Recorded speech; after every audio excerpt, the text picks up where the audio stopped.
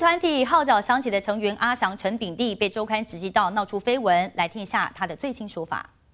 谢欣然后我说那个爱上，好像喜欢上你是他的问题，关你没有，不关你的事，你怎么讲的？我没有看到这一个 IG 上面有贴文啊。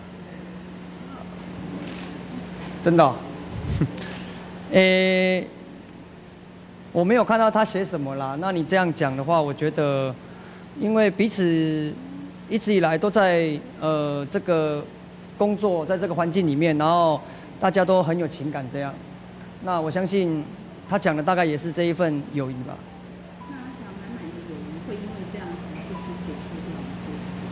友谊啊，觉得友谊应该是友谊不会结束啊，友友谊一直在啊。超过友谊那部分要结束啊。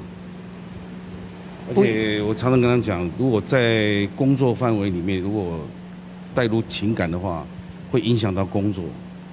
呃，不过我们大家因为默契为什么那么好，就是因为大家生活像一家人一样，包括团队所有的来宾，所以在男女之间可能在这方面稍微一不留意，就会越过了那个尺度。我想这个尺度现在也也要唤醒阿翔跟谢欣，所以希望大家多多给他们一点机会。那花哥就是嗯，会觉得这样这件事会影响到他们两个主持节目。啊，这个是这个就由民事以及大一公司让他们自己去做决定了。